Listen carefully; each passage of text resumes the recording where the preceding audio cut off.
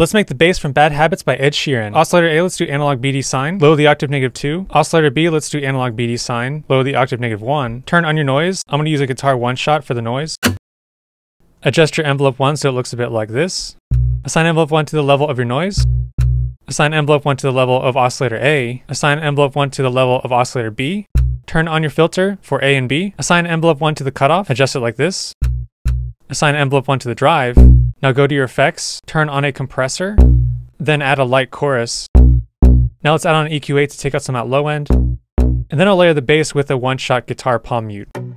And that's going to be from Splice.